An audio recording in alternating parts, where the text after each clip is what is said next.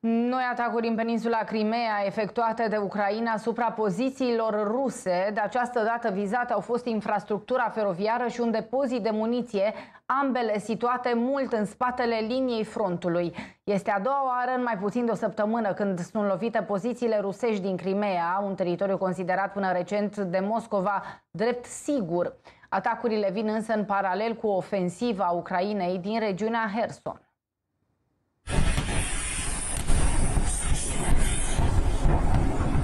Un depozit de muniții din nord-estul peninsulei Crimea a fost distrus în totalitate.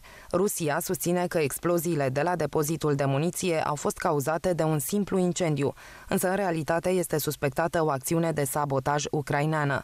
Kievul nu a admis că s-ar afla în spatele exploziilor, însă unul dintre consilierii președintelui Volodimir Zelensky a descris-o drept o demilitarizare în acțiune. Dimineața lângă Zahankoi a început cu explozii, o reamintire. Crimea unei țări normale este despre Marea Neagră, munți, recreere și turism. Însă Crimea ocupată de ruși este despre explozii în depozite și risc mare de moarte pentru invadatori și hoți demilitarizare în acțiune, a afirmat consilierul prezidențial Mihailo Podoliac într-o postare pe Twitter. Însă cu câteva ore înainte, într-o localitate aflată la doar o jumătate de oră distanță de depozitul de muniție, a avut loc o altă explozie.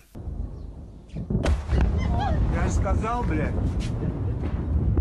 Această explozie a vizat un transformator de curent al liniei ferate. Deflagrația a afectat și linia ferată, astfel că traficul feroviar din zonă a fost oprit. Este a doua oară în mai puțin de o săptămână când poziții ale armatei ruse din peninsula Crimea sunt distruse. Săptămâna trecută, Rusia a pierdut până la 17 avioane după ce acestea au fost aruncate chiar în baza aeriană în care erau staționate. De altfel, de câteva săptămâni, armata ucraineană și-a intensificat atacurile asupra podurilor, depozitelor de muniție, bazelor militare și pozițiilor trupelor ruse.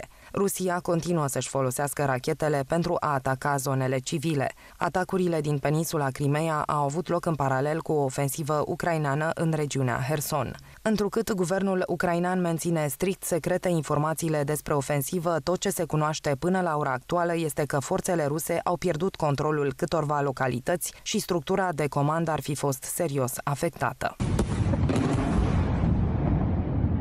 Yeah,